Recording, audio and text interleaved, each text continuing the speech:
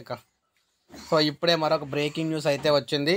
So ఏపీలో సోమవారం జరిగే ఎన్నికలకు సంబంధించి పోలీస్ బందోబస్తు ఏర్పాటు చేశారు. అయితే ఇందులో భాగంగా చాలామందిని తొలగించడం కూడా జరిగింది. ప్రకాశం నెల్లూరు చిత్తూరు పట్టభద్రులు ఎమ్మెల్సీ ఎన్నికల్లో ఇక్కడ ఎమ్మెల్సీ ఎన్నికల నేపథ్యంలో తిరుపతి నియోజకవర్గ పరిధిలో పట్టభద్రుల ఓటర్ల నమోదు విషయంలో గత రెండు మూడు రోజులుగా ఒకే ఇంటి నెంబర్తో ఎక్కువ ఓట్లు వస్తున్నాయి. బోగస్ సర్టిఫికెట్లు పెట్టారని చెప్పేసి రాజకీయ పార్టీలు ఫిర్యాదు అయితే వస్తున్న నేపథ్యంలో ఎన్నికల విధుల్లో అలసత్వం వహించిన ముఖ్యంగా చూసుకున్నట్లయితే